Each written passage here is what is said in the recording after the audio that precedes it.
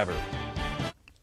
Well, thankfully, we do not have any disastrous winter storms on our horizon. We do have some wet weather and some snowfall across northern Ontario today will result in between 5 and 10 centimeters. But as you can see, the low pressure system moves off, the cold front passes. With that, some cloud cover and the chance of some flurries, but not a big storm expected for us. Thankfully, though, and of course, March break now upon us uh, at the end of today, a lot of people are planning their exodus in most cases going south to get some warmer weather and some sunshine. We can see that swath of precipitation, but by Saturday afternoon, it's all clear for travel down toward Florida and the Gulf Coast because we have our low pressure system moving offshore. Right now, there are some winter storm warnings in place, but they'll be out offshore and over the waters by the time we get to tomorrow. So really the Sunday drive not looking too bad at all. There is a low pressure system here over the Gulf Coast uh, toward Louisiana that's coming in. But overall, if you're heading to Florida, it looks like pretty good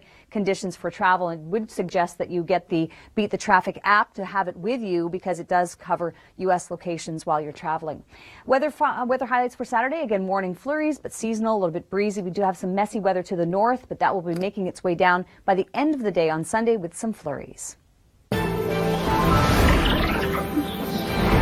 It doesn't matter who wins. Coming up, we'll tell you more about this sport where embracing the cold is more important than crossing the finish line. We do have some snowfall in the forecast, but don't get too worried. It's not a big, big storm on the way, but some nuisance flurries are in our forecast. Yesterday, though, on the other hand, we had really fair conditions, lots of sunshine, and overall it wasn't all that bad, was it? Sure, you've got to dress up for it. We would expect nothing less in the early part of March. Today we thought yesterday at this time we might be able to squeeze out about a three degree high, but we've had to knock it down to one. But there will be bright skies, sunshine in the forecast till the evening with clear conditions. But overnight we have the potential of seeing some mixing temperature of minus three, feeling like minus eight in the overnight. That's not too bad. And the probability of those showers is just uh, 40%. So why is that? Well, it's because we have a low pressure system to the north that's bringing 5 to 10 centimeters of snow up toward Timmins. North Bay and Sudbury, a swath of snow coming through, probably not quite as much as Timmins, maybe in the range of, say, 5. But this cold front weakens as it moves south. It does bring in a different wind direction, some cloud cover and some snow showers with it, but it's not going to be a big storm system. It just doesn't have the upper level um, strength behind it, if you will. But we will see a decent snowfall through the north. Uh, Thunder Bay through Timmins, seeing probably the worst of it through Wawa and Sault Ste. Marie. Also want to mention, of course, March break. A lot of people are heading south for sunnier destinations and some uh, some warmth. Well, Saturday afternoon travel from the GTA down towards, say, Florida looks to be in the all clear for the most part. Today, it's not the case because we do have some warnings in place along the eastern seaboard with regard to that low pressure system, which will have moved off over the ocean by tomorrow. So really good timing in that sense and also good timing if you're waiting until Sunday to make that drive south because we've got our low off to the uh, to the east and then we have this western low over the Gulf. But again, if you're traveling down toward uh, Myrtle Beach or down toward Orlando, then it's looking actually pretty good for travel. Would suggest, though, that you get the Beat the Traffic app through your um, app store. Then you can keep tabs on the weather conditions as well as the road conditions as you travel. Weather highlights through Saturday morning flurries, seasonal, breezy, no problems at all. We do have some snow showers to the north. Slightly cooler temperatures, not going to be a big cool down, but we do see the temperatures rising a little bit heading into tomorrow. And then we have a messy mix on the way for Monday. Oh, what to do with all that snow? Coming up, we'll tell you how this big guy is raising money for charity.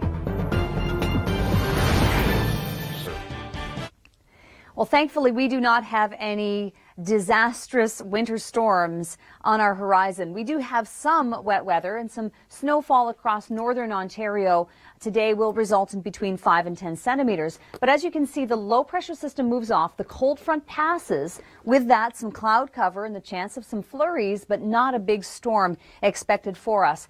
Thankfully, though, and of course, March break now upon us uh, at the end of today, a lot of people are planning their exodus in most cases going south to get uh, some warmer weather and some sunshine. We can see that swath of precipitation. But by Saturday afternoon, it's all clear for travel down toward Florida and the Gulf Coast because we have our low pressure system moving offshore. Right now, there are some winter storm warnings in place, but they'll be out offshore and over the waters by the time we get to tomorrow. So really the Sunday drive not looking too bad at all. There is a low pressure system here over the Gulf Coast uh, toward Louisiana that's coming in. But overall, if you're heading to Florida, it looks like pretty good conditions for travel and would suggest that you get the Beat the Traffic app to have it with you because it does cover U.S. locations while you're traveling. Weather, uh, weather highlights for Saturday, again, morning flurries, but seasonal, a little bit breezy. We do have some messy weather to the north, but that will be making its way down by the end of the day on Sunday with some flurries. We do have some snowfall in the forecast, but don't get too worried. It's not a big, big storm on the way, but some nuisance flurries are in our forecast. Yesterday, though, on the other hand, we had in the overnight. That's not too bad. And the probability of those showers is just uh, 40%. So why is that? Well, it's because we have a low pressure system to the north that's bringing 5 to 10 centimeters of snow up toward Timmins. North Bay and Sudbury, a swath of snow coming through, probably not quite as much as Timmins, maybe in the range of, say, 5. But this cold front weakens as it moves south. It does bring in a different wind direction, some cloud cover and some snow showers with it, but it's not going to be a big storm system. It just doesn't have the upper level um, strength behind it, if you will. But we will see a decent snowfall through the north. Uh, Thunder Bay through Timmins, seeing probably the worst of it through Wawa and Sault Ste. Marie. Also want to mention, of course, March break. A lot of people are heading south for sunnier destinations and some uh, some warmth. Well, Saturday afternoon travel from the GTA down towards, say, Florida looks to be in the all clear for the most part. Today, it's not the case because we do have some warnings in place along the eastern seaboard with regard to that low pressure system, which will have moved off over the ocean by tomorrow. So really good timing in that sense and also good timing if you're waiting until Sunday to make that drive south because we've got our low off to the uh, to the east and then we have this western low over the Gulf. But again, if you're traveling down toward uh, Myrtle Beach or down toward Orlando, then it's looking actually pretty good for travel. Would suggest, though, that you get the Beat the Traffic app through your um, app store. Then you can keep tabs on the weather conditions as well as the road conditions as you travel. Weather highlights through Saturday morning flurries, seasonal, breezy, no problems at all. We do have some snow showers to the north. Slightly cooler temperatures, not going to be a big cool down, but we do see the temperatures rising a little bit heading into tomorrow. And then we have a messy mix on the way for Monday. Oh, what to do with all that snow? Coming up, we'll tell you how this big guy is raising money for charity.